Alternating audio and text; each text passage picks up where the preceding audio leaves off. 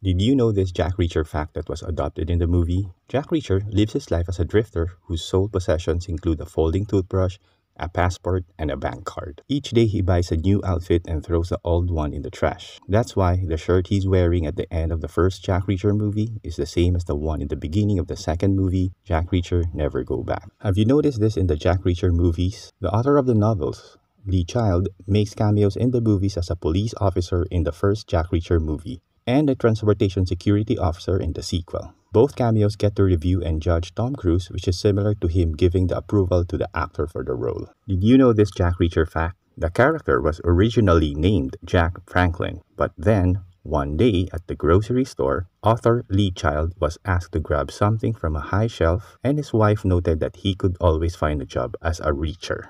After seeing this video, you'll be adding three movies to your Netflix weekend watch list. How's it going? Jack Reacher and its sequel, Jack Reacher Never Go Back, surged to the worldwide top 10 most watched list on Netflix for the past two weeks. In one scene in the first movie, Jack Reacher said, I am not a hero. I'm a drifter with nothing to lose. Now, this is how it's gonna work. You're gonna give me the address. And I'll be along when I am damn good and ready. It is similar to how Maverick, Tom Cruise's character in Top Gun, tells Sundown that I will fire when I am goddamn good and ready. You get that? all three movies are currently streaming on Netflix. Like and subscribe for more awesome movie suggestions. Hey, hey, hey. Don't worry, I'll take care of this. You never close your eyes anymore when I kiss.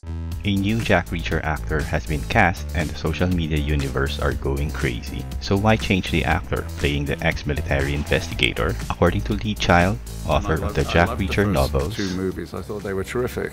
The readers uh, felt he was not an accurate representation of Reacher. I've got to defer to the readers. You know, the readers are the most important people to me. Reacher is a huge, hulking, scary brute. Reacher walks in the room, temperature just drops a degree. Mm-hmm. By the way, how tall is Tom Cruise?